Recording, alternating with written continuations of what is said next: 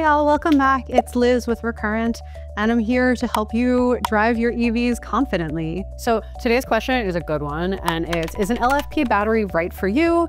Now, in order to answer this question, first you have to know what an LFP battery is. So let's jump right in.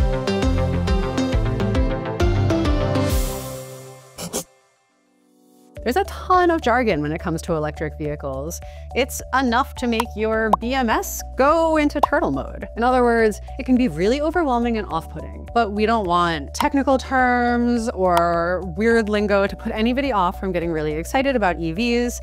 So we are here today with the ABCs of EVs. Okay, you probably know that EVs are powered by lithium ion batteries, which are the same sort of battery that's in your cell phone or your computer. But what you may not realize is that there are actually a lot of different types of lithium ion batteries, and usually they're named after the materials that are in them. So today we're gonna be talking about one of the newer and really cool chemistries, and it's called LFP. I'm super excited about LFP batteries, and I know that there are a lot of battery scientists and EV experts who are They offer a host of benefits compared to other EV batteries, which are usually cobalt-based and are called things like NCA or NMC. All right, so humans have been using cobalt as a pigment and a paint for thousands of years, and if you think about cobalt blue, you can probably bring to mind this really pretty deep blue color. Cobalt also helps stabilize lithium-ion batteries and enhances their energy density, which is something you want in an EV battery.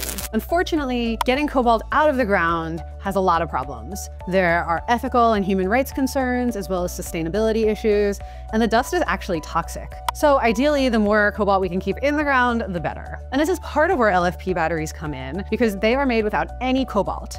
Instead, they use lithium, phosphate, and iron, which are materials that are much easier to find and generally easier to dig out of the ground. So as mentioned, one of the big benefits of LFP batteries is that they don't use any cobalt. So potentially there are more sustainable and ethical choice for EVs. And as wonderful as that is, that's not the main reason that auto manufacturers like LFP batteries. Of course, that's the money. Making and sourcing LFP batteries can be two to three times cheaper than making a cobalt-based battery. So that means the batteries are cheaper, the cars are cheaper, more people drive them. It's good news all around. In addition, LFP batteries are more resistant to degradation from high heat and high voltage, which you may remember are two things you experience when you use a DC fast charger charger. Overall, LFP batteries last longer than cobalt batteries, as much as two to five times longer, and overall they degrade less rapidly. So this all sounds awesome. Why would you not want to use LFP batteries everywhere? Okay, there's one big reason. LFP batteries have less energy density than cobalt-based batteries. What does that mean? So in short, if you have two batteries, one LFP and one cobalt-based, like an NCA battery, the LFP battery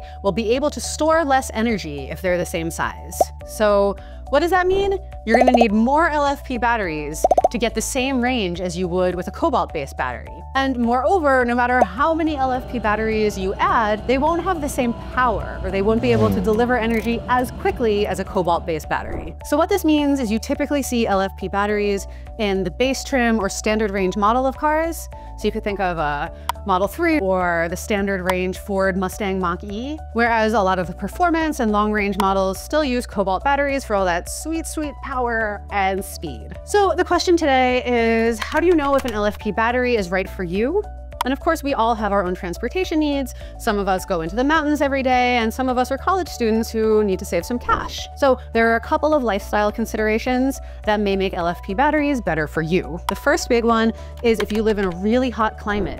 And this is especially true if you don't have a garage or a climate-cooled place for you to park your car. LFP batteries are more resistant to heat-related degradation. Second, do you rely on fast charging?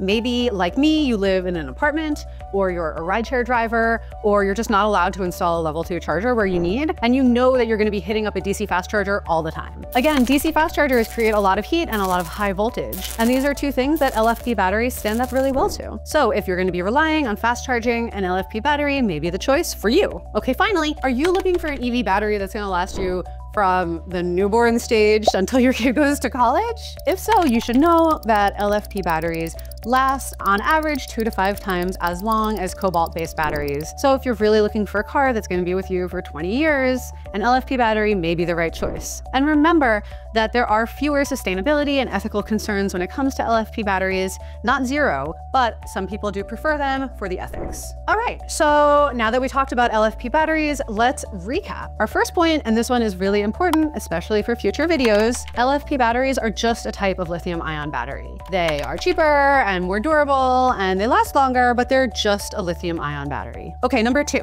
an EV with an LFP battery may be the right choice for you if you live somewhere that's really hot, or if you're gonna fast charge all the time, or if you value a really long cycle life. Okay, finally, if you're looking for crazy power and performance, or you want really long range, the EV you buy will probably still have a cobalt-based battery in it, at least for the time being. All right, thank you so much for joining us. If you love this video, please do all the things, like it, share it, comment below. We have real people at Recurrent who will actually read your comments and get back to you, and we'll see you next time.